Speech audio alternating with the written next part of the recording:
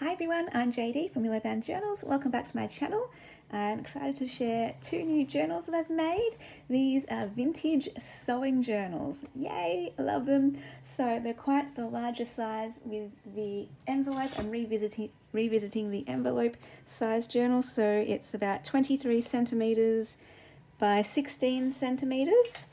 And yeah, really cool. They have two different covers, but I like this one because it has the sewing machine. I also like the French um, French cafe, French wines little pieces there, and that vintage paper. So I'm calling this one French Cafe. This one I'm calling Coats and Dresses, and I just used the cover of an Enid Gilchrist book, pattern book. So you, can, so you can see I chose one of the pages from the book to be the back cover, stitched all around. Now these are pretty much all feature pages are from vintage sewing books. I think I used three different sewing books and just, yeah, love the inside of this cover in particular. Really, really pretty. Um, and then there's a lot of vintage ephemera in here as well. All trying to go with this sewing theme because I thought this looks like embroidery. Um, or stitching, stitches and stitching. and I tried to include quite a bit of lace and fabric, lots of vintage things as well. And these, I had some of that paper left over, so I just cut out the individual pictures and turned them into journal cards, sewed them onto coffee dyed paper. There is a large flash card in there. Here's the cover of one of the books that I used. Oh, these are vintage buttons. So these are the last of those now. I'm trying not to hoard. I made a whole bunch of vintage, authentic vintage French sewing themed tags and I just think they're adorable. So I, I, finally have parted with them and put them in these journals so that you'll see a whole bunch of these throughout the journals. This is a vintage card. Woo, hello. um, now the pages are a little bit fragile because it is um, original vintage sewing pages, so they are a little bit fragile and here is a vintage receipt or checkbook type of piece, vintage fabric, pocket page, and I just included a vintage envelope to do with the ladies. Look at this, so pretty. Um, I reinforced the pages with some masking tape if it was a bit too fragile. Here's a vintage invoice receipt type thing. and this is vintage lace. Created a large pocket there. Love this one. And this, so cool. This is a little pocket here. It has a vintage slide. Uh, you probably won't be able to see it, but it's a fashion slide. So it fits in with the sewing theme. Another card in here. This is vintage blue lace. Love this. In the pockets I have some more of those authentic French tags. Okay, let's just put that in there. I sewed some of those crochet doilies on here. There's another one of those vintage French tags. Um, these I make with the manila folder. I've got a tutorial on that. And so that allows some writing space on there. It has the cream tones that I love. Vintage bridge card. These are so cute. Um, so yeah, if you're interested in owning any of these journals, feel free to get in touch. My email will be in the description box below.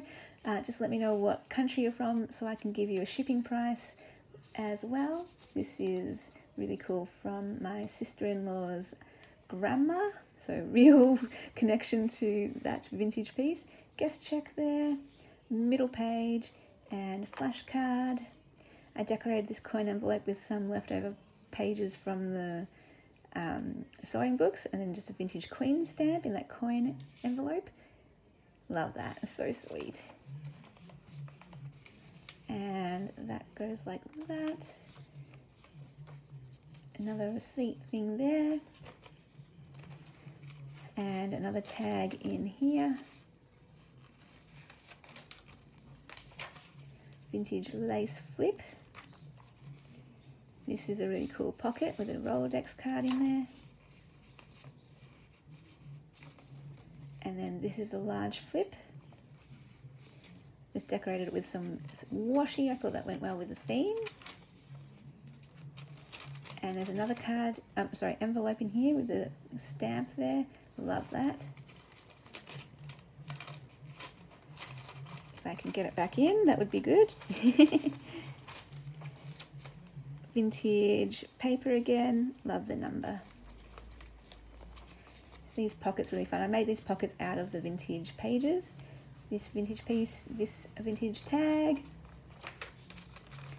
Again, just love that. Another tag from the French pages, a little note card or something in here that I got from that vintage place where I got the cards.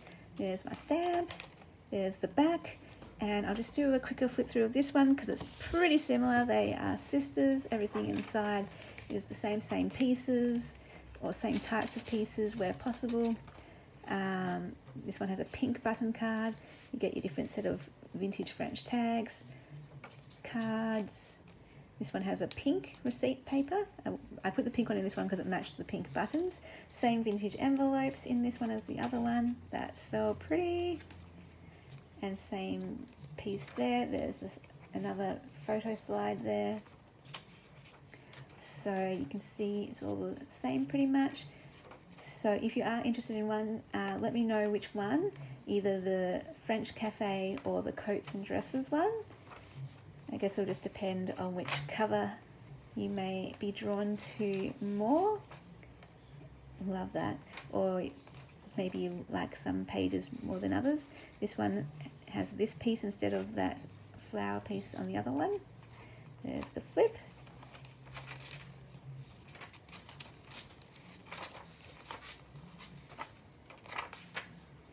And again, same bits and pieces here.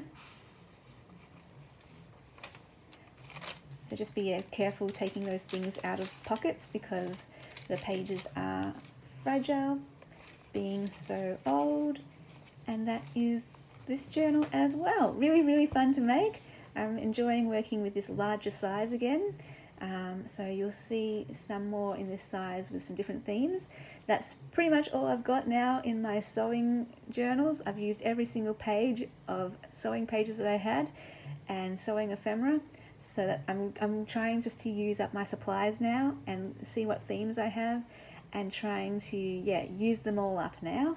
So tick for all the sewing supplies. Woo! all right thanks so much for watching guys. I hope you enjoyed that flip through. Let me know what you think in the comments and i'll see you in the next video. Bye guys